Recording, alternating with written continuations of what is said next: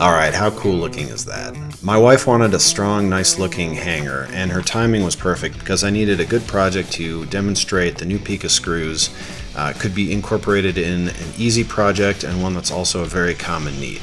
I was even able to cut the countersink on the lathe, so the countersink bit was not needed.